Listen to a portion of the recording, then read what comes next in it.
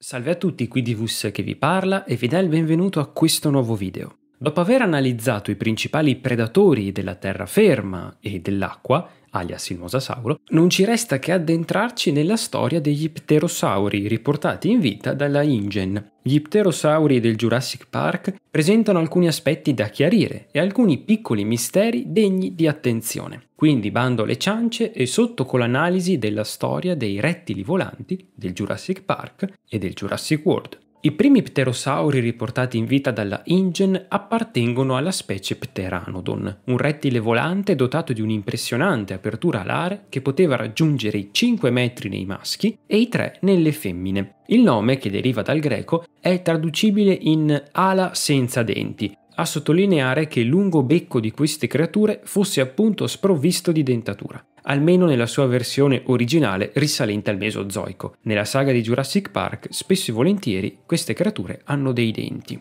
Come per tutti gli animali del Jurassic Park, anche gli pteranodonti furono riportati in vita su Isla Sorna, all'interno dei laboratori InGen del celebre sito B. Qui era stato edificato un edificio apposito per la crescita dei rettili volanti, una grande voliera che avrebbe ospitato le creature sino al loro trasferimento nel parco di Isla Nublar, dove sarebbero stati accolti in un'altra ampia voliera. La InGen già nel corso degli anni 90 progettò diverse varianti di pteranodonte. Una piccola curiosità prima di analizzare le varianti. Nella versione autentica solo gli pteranodonti maschi possedevano la tipica cresta ossea nell'area posteriore del cranio. Nei film del Jurassic Park non sembra essere presente questo dimorfismo sessuale, visto che tutti gli esemplari mostrati posseggono la cresta. Evidentemente alterare il DNA comporta sempre dei cambiamenti anche inaspettati. Ovviamente qui si innesca anche una scelta di design,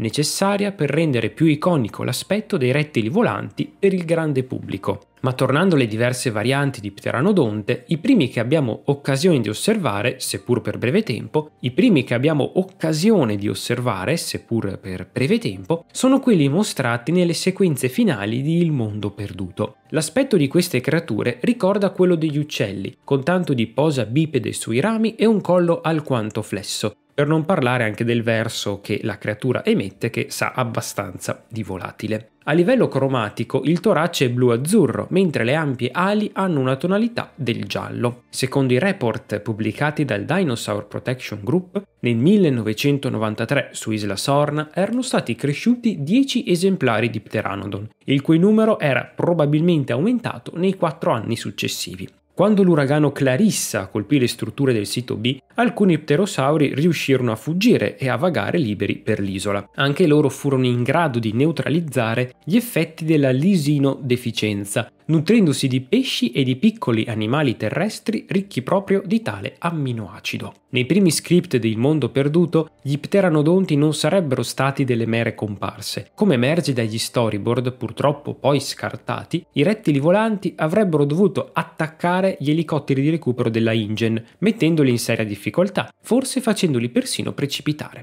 Ad ogni modo questa scena fu tagliata e gli pteranodonti ebbero solo pochi secondi di presenza a schermo. Ma la grande occasione di riscatto sarebbe arrivata con il terzo film del franchise, Jurassic Park. In Jurassic Park 3 vediamo infatti un'altra variante degli pteranodonti creati dalla InGen. A differenza di quelli del film precedente, questi pterosauri appaiono ben più grandi, di colore giallo ocra con striature nere. La loro apertura alare è davvero notevole, tanto che alcuni l'hanno paragonata a quella del Quetzalcoatl, uno dei più grandi pterosauri mai esistiti. Queste dimensioni extra large potrebbero essere figlie dell'uso di un ceppo di DNA diverso rispetto a quello utilizzato per la prima variante. Come sempre la InGen dovette colmare le lacune nel genoma delle creature, quindi è facile produrre animali diversi in base al DNA impiegato per tale scopo. Gli pteranodonti di Jurassic Park 3 rimasero chiusi nella loro grande voliera fino al 2001. Evidentemente l'uragano Clarissa non l'aveva danneggiata a sufficienza da consentirne la fuga. Come fecero sopravvivere e addirittura proliferare all'interno della voliera? La principale fonte di cibo da cui attinsero fu sicuramente il corso d'acqua che attraversava la gabbia. Gli pteranodonti sono esperti pescatori e il fiume in questione era ricco di pesce, come vediamo proprio in una scena di Jurassic Park 3. Inoltre, all'interno della voliera ci vengono mostrate delle ossa umane, precisamente nei pressi di un nido di pteranodonti.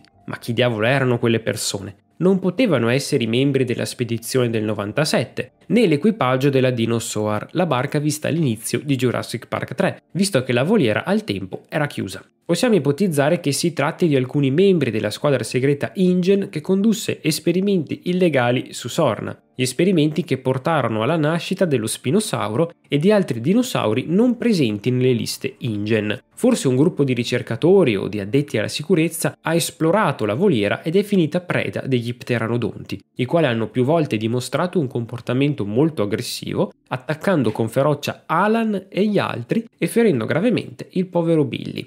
A seguito degli eventi di Jurassic Park 3, gli pterosauri di Sorna furono liberi di vagare e decisero addirittura di lasciare l'isola in cerca di nuove terre in cui nidificare. La situazione avrebbe potuto rivelarsi critica, tanto che Simon Masrani, nuovo proprietario della InGen dopo la morte di John Hammond, decise di risolvere il problema alla radice. Una squadra della divisione sicurezza della InGen, guidata da Vic Hoskins, venne inviata sulle tracce dei rettili volanti che alla fine furono individuati e uccisi in un'area non ben precisata del Canada. Ciò permise ad Hoskins di guadagnare la stima di Masrani, che lo avrebbe poi promosso a capo della divisione sicurezza. E a proposito di Masrani, è ora di analizzare la terza variante di pterosauri visti nel franchise, quelli del Jurassic World. Masrani decise di riaprire il parco su Isla Nublar e incluse tra le attrazioni da offrire al pubblico anche una grande voliera, che avrebbe ospitato diverse specie di pterosauri. Edificata nel 2004, la voliera del Jurassic World era posizionata nei pressi di un fiume per garantire il necessario apporto di pesce ai rettili volanti ivi ospitati.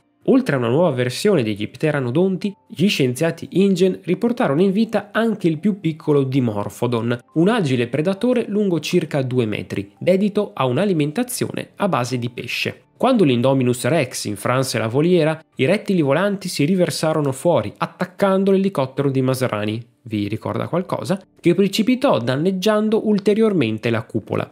Tanto gli pteranodonti quanto i dimorphodon fuggirono in massa, riversandosi su Main Street e attaccando i visitatori stipati in attesa dell'evacuazione. Ancora una volta gli pterosauri si dimostrarono piuttosto aggressivi, tentarono persino di afferrare alcuni cuccioli di dinosauro, nonché diverse persone, inclusa la povera assistente di Claire Deering che non fece esattamente una bella fine. Terminato l'attacco, diversi pterosauri decisero di lasciare Isla Nublar, dirigendosi così verso il mare aperto e quindi verso la terraferma. Alcuni di essi rimasero su Nublar, ma l'eruzione del monte Sibo li convinse a fuggire. Comunque tre esemplari finirono nelle mani dei mercenari di Eli Mills e furono trasportati nella magione Lockwood in California del Nord.